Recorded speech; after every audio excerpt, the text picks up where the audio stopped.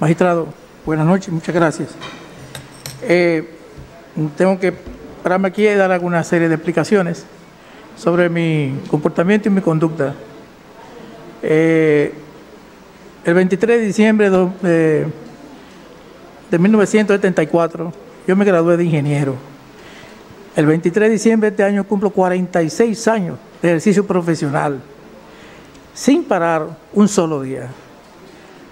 Eh, todo lo que he logrado en mi vida, mis altas y mis bajas, es producto del esfuerzo diario que yo he hecho.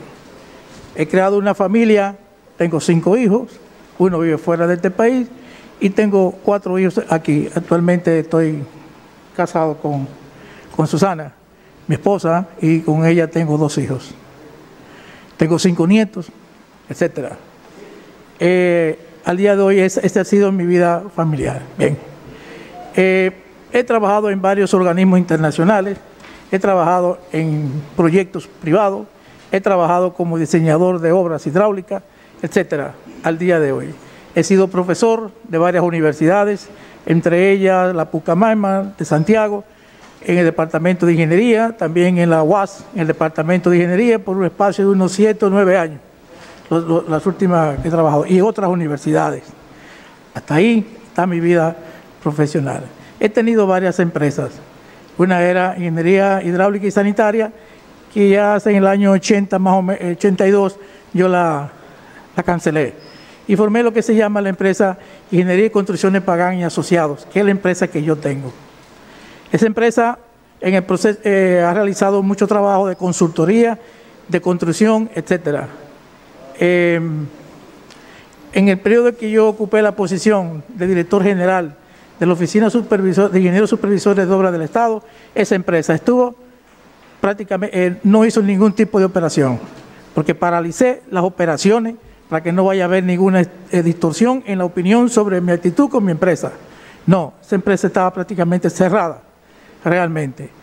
Eh, en el desarrollo, cuando entro a la OISOE en el 2015, el día 3 de agosto, 3 de agosto, de ese año, este, señor presidente de la República de ese momento, señor licenciado Danilo Medina Sánchez, me nombra director general de la Oficina de Ingenieros Supervisores de Obras del Estado. Cuando le pregunto, cuando me invita el día 23 de julio a su despacho, 23 de julio, estamos hablando de unos 10 o 12 días antes de, de hacerme la oferta de que participe en su gobierno, yo le digo que sí.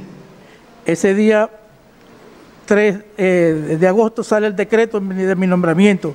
El día 6 de agosto estábamos ya haciendo evaluaciones de proyectos y comenzamos en el Cabral Ibáez, donde se envió al ingeniero Aquiles Christopher con un equipo de evaluadores a ver lo que pasaba en el hospital Cabral Ibáez.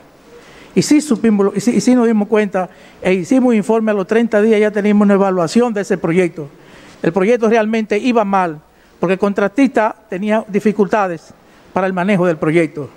Eso llevó a una serie de discusiones con ese contratista y nos dimos cuenta de que sus valores no se correspondían con lo que había realizado ese, el contratista de ese proyecto.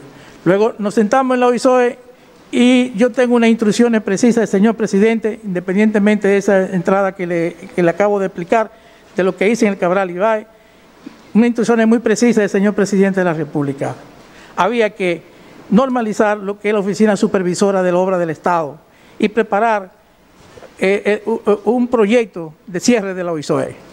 ¿Qué pasa? primero, ya no sabía lo que estaba pasando en el interior de la oficina supervisora de obra del Estado y lo que hice y se me ocurrió es reunir a todos los contratistas que estaban que, pertenecían a, o que estaban trabajando con la oficina supervisora del Estado y los reuní a todos en un salón de conferencia que existe hoy actualmente en la oficina. Y lo dividí en dos paquetes, en dos, grupos. Uno de 400 ingenieros y, empresarios de la construcción y otra vez, en otro día, 400 más. Y me quedé solo con ellos ese día los dos. Saqué a todos los funcionarios que estaban presentes y le di una hoja y le pedí, dígame quiénes son los que lo están chantajeando o quiénes son los que lo están extorsionando. Me permite explicarle esto porque tengo que explicarlo. Eh, y no pongan su nombre en la hoja. Y sí lo hicieron. Hicieron, hicieron todo no ponga su nombre, ni su teléfono, ni su cédula, absolutamente nada. Le digo yo a los contratistas. Pues mire lo que sucedió. Pusieron el nombre de las personas que estaban provocando los chantajes. Y también pusieron ellos mismos su nombre como una referencia, su teléfono y su cédula, con responsabilidad. Eso pasó. Hubo un caso de que hubo una persona que sacó 850 veces, repetido 850 veces entre el número de ingenieros que había ahí. Y así eso nos permitió a nosotros una evaluación a las tres semanas de haber llegado a la Oficina Supervisora de Obras del Estado, lo que se me, permitió a mí tomar decisiones de limpieza de la Oficina Supervisora del Estado en lo inmediato con el personal que estaba cometiendo esos, eh, e, e, ese tipo de, acciones. Luego pasa el tiempo, entonces eh, se, está trabajando revisando todos los proyectos, eh, viendo cómo está la oficina supervisora.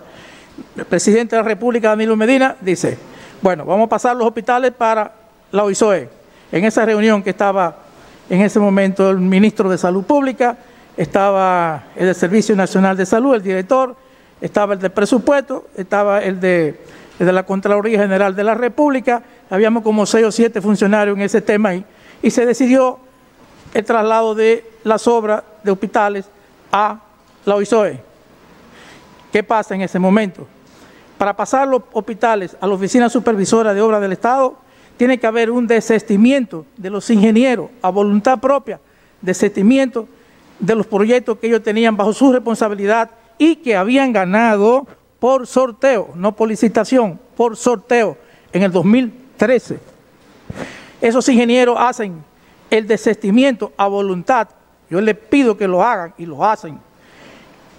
Pero cuando ellos hacen ese desestimiento, esos ingenieros se quedan en el aire porque en ese momento no tienen ningún contrato, porque ya usted desistió del contrato. Pero ¿qué sucede? Cuando ellos hacen eso y van a mí, a, hoy soy e, esos proyectos, yo lo que hago es que reevalúo los proyectos y le llamo a esos ingenieros, independientemente de lo que, de lo que haya pasado en el camino, y le digo, ustedes siguen con su contrato. Usted, magistrado, lo podemos sentar en esta sala a los 56 ingenieros. Y si yo le quité un contrato a esos ingenieros, es mentira. A ninguno le quité un contrato, sino que lo mantuve. Y hasta el día de hoy son ellos los que han ejecutado el proyecto, excepto dos. Uno, porque se fue cuando le dieron el avance en el Ministerio de Salud Pública, se fue para Estados Unidos. Ese no está aquí. Tuvimos que resolver de otra manera ese caso. Y otro ingeniero que le dio, hubo un incidente con una directora de un hospital y la directora recibió un golpe en la cara. Entonces lo provocó ese ingeniero, yo tenía que tomar la decisión y lo retiré. Esos dos están fuera del proyecto, pero ningún otro ingeniero. No, ingeniero, mire, el Ministerio Público a veces menciona eh, ese tipo de, situación, de que hay ingenieros que pero al juez lo que le interesa es específicamente es su relación con, con Alexis Medina. Independientemente, fíjese que el juez eh, eh, lo escucha, lo escucha, pero es para que no gaste energía, no gaste energía en eso, explicándome lo de los ingenieros. No. Hábleme específicamente del caso de la relación suya con, con Alexis Medina, que ahí que el Ministerio Público dice que usted que usted lo favorecía y eso es lo que a le interesa. Yo eh, quiero que mis abogados eh, expliquen esa parte, pero necesitaba un segundo nada más que usted me permita terminar algo, aunque yo sé que no, tiene el caso para esto. ¿Usted me lo permite? Desahógese. ¿Eh? Desahógese. Gracias. Gracias, gracias. Entonces, ¿qué hicimos en OISOE? Formamos el, departamento de fiscalización que lo dirigió el ingeniero Aquiles Christopher, un hombre honorable y un hombre serio responsable en todas sus acciones de su vida hasta el día de hoy. E investigamos los proyectos y el ahorramos al Estado y recuperamos un paquete de dinero de más de 20 mil millones de pesos. Entonces, ¿dónde está la moraleja de eso ahí? De 20 mil millones de pesos quiere decir que nosotros no lo permitimos, tal cual explicó el ingeniero Aquiles Christopher.